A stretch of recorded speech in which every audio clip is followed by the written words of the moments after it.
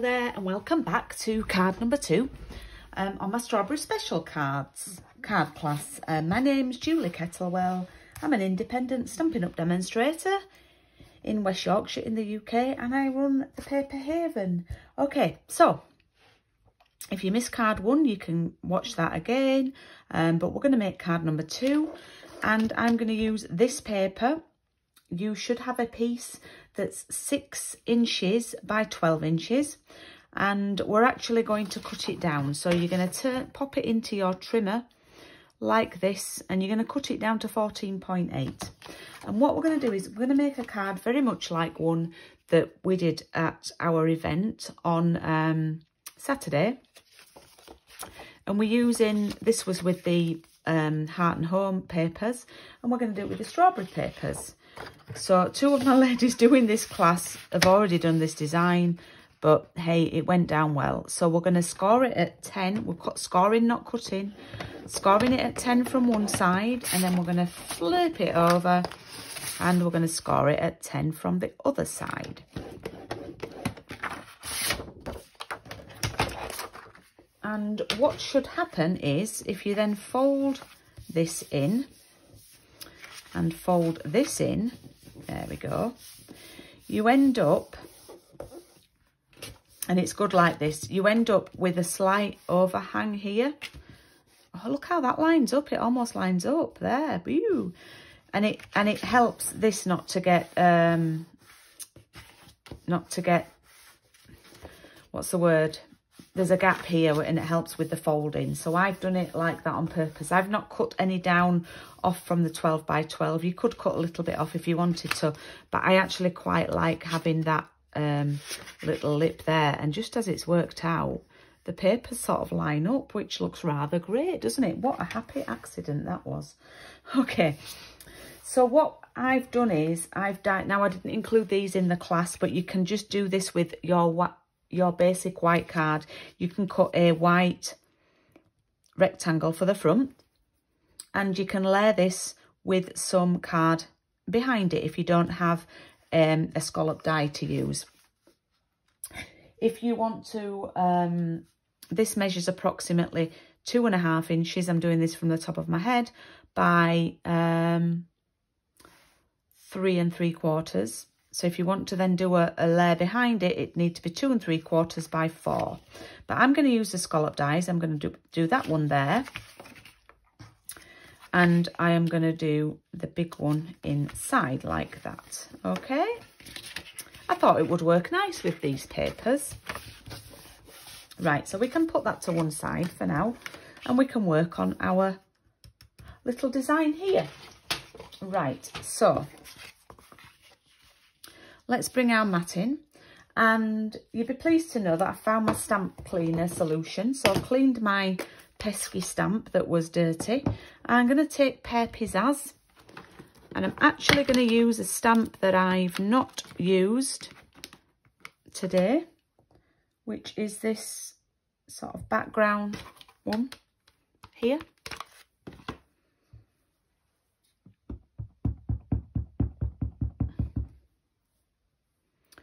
Just going to work out how I'm going to do this. Mm.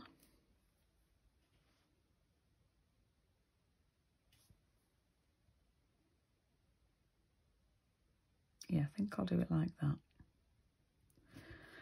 just going to stamp that there with that sort of going off there. Okay.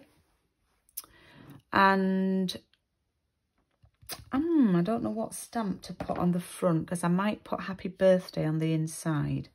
So I might do just for you on the front. But anyway, in the meantime, let's do some strawberries. Now, still got some white left here. I think I only may need a couple, but I'm going to cut some more paper down, some more card even again like we did last time. Cutting these at about four centimeters.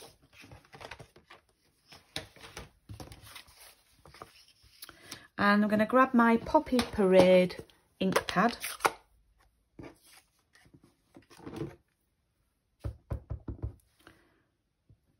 And I'm going to stamp um, probably three maybe. I can always use them for other projects. And then I'm going to fill them in with the filler stamp.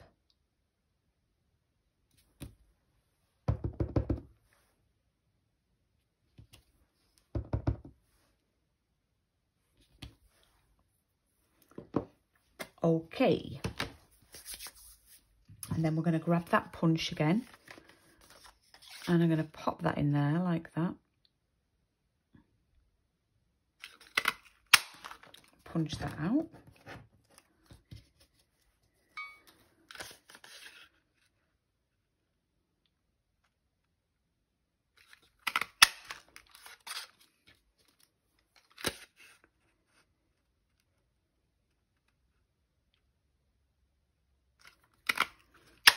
And we've got three lovely strawberries there. Let's work out how. I think, I think we maybe only need one on the front there. Because it just covers up the vine if not. We'll use those others for the inside, I think. Yeah.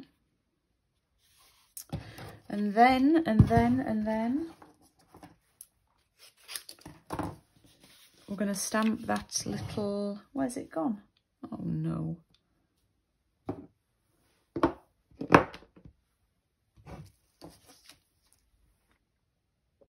Okay, can you believe, and I could cry at this, I now appear to have lost the other stamp. I've checked if it's stuck to anything.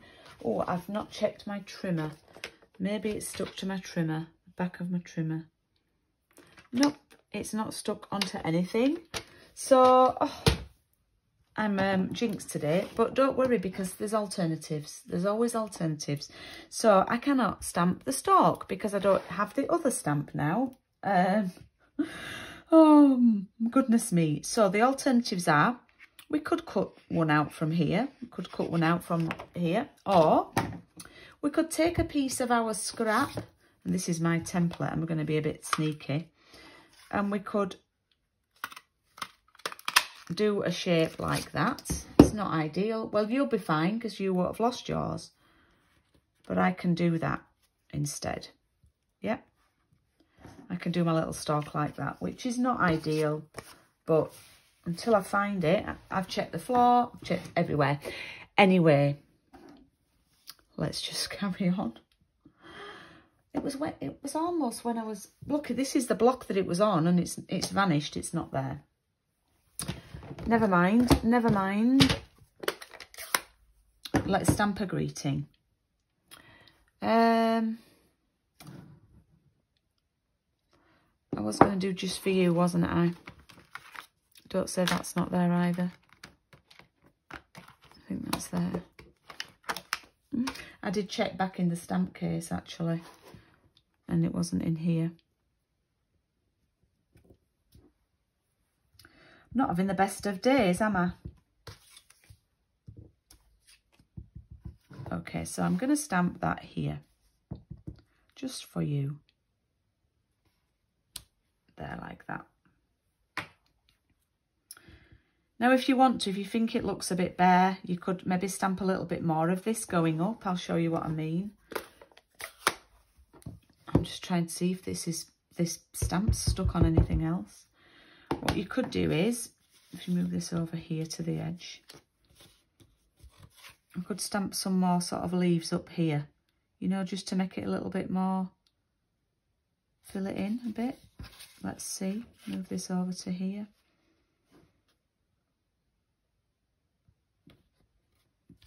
Like that, if you wanted to, just so there wasn't as much of a, a white sort of space. All right. I'm not saying you need to pop another strawberry on. Um, but yeah, and you could even colour those in if you wanted to.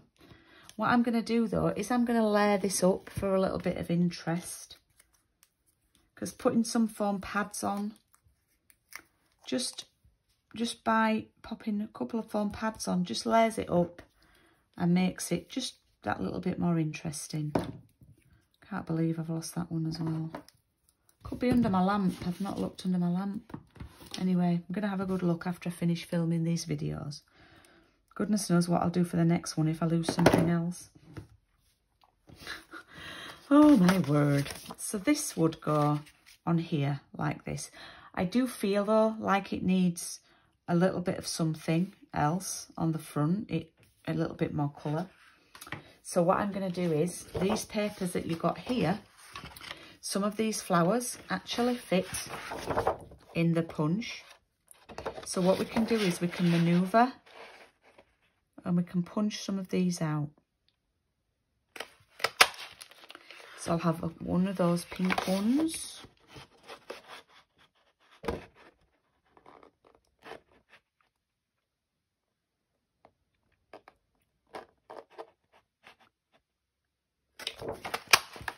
And we'll have a little blue one.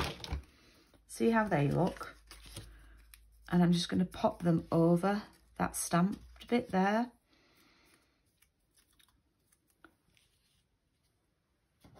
And now I'm probably going to want to do that one.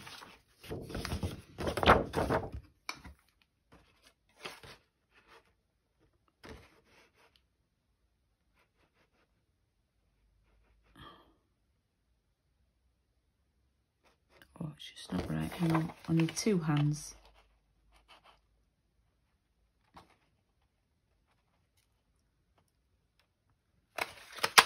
There we go.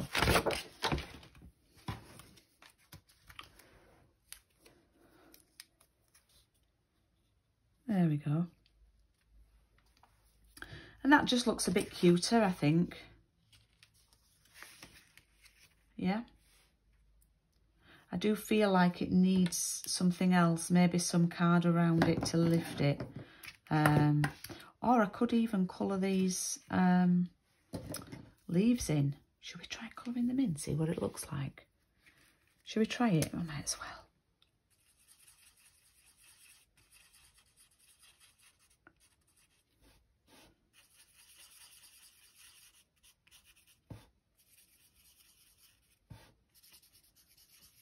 This is just with the um, pale old olive, the light old olive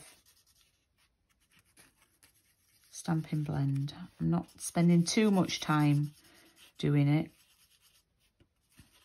There's no blending. I'm not doing any of the blending. I'm just simply colouring it in.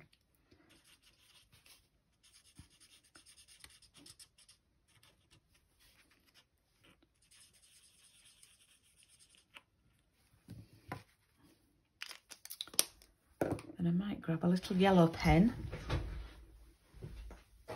Just saw one there in my box.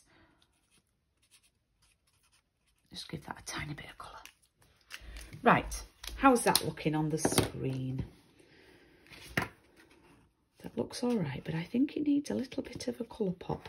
So what I'm going to do, I'm going to cut a piece I think I'm going to use Poppy Parade actually. I'm going to cut a piece of Poppy Parade. It's like a tongue twister. And I'm going to cut it to two and three quarter inches by four. And I think I've got that measurement right.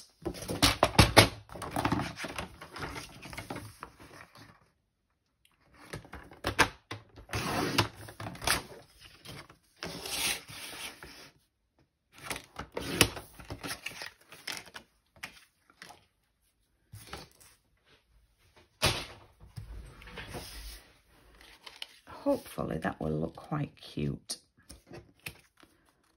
on there. Mm, yes, we'll have a bit of that.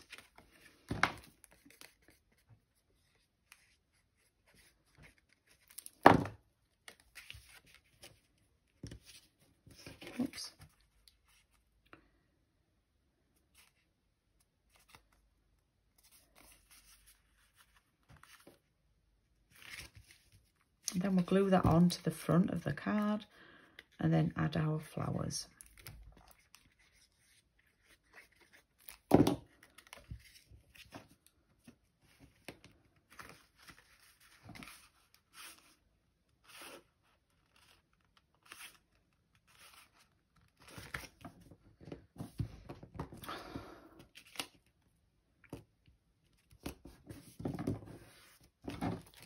Going to take the glue to the flower like that and then pop that on like that. Whoops.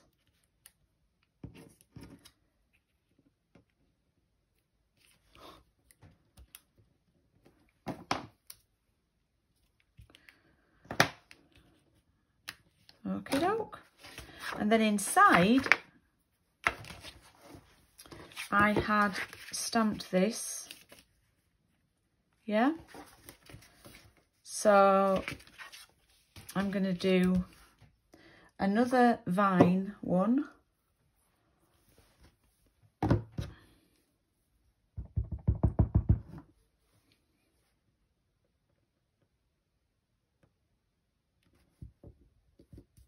like that.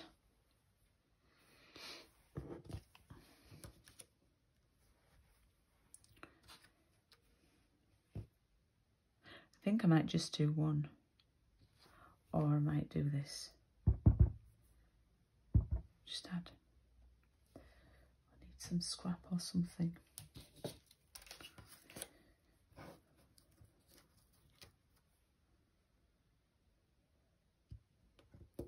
so it doesn't get on my desk. Just do that. And then of course I need another thingy.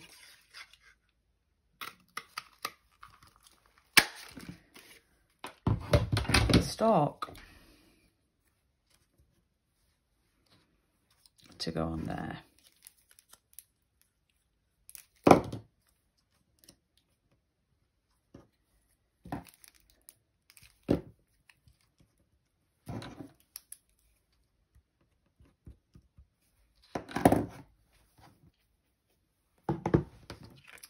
Now that's going to glue in here.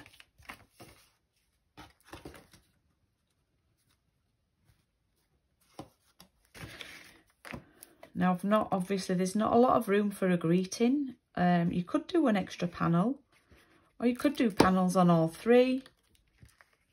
I really wanted to stamp the happy birthday in here, but I'm realising I'm not leaving a lot of room for um, I'm just checking here if I've got it sort of equal at the side. Sometimes it's hard to see when it's folded, so I fold it up just to check. Sometimes it's hard to see where your score line is. So you might want to do the happy birthday inside here. I have cleaned this stamp now.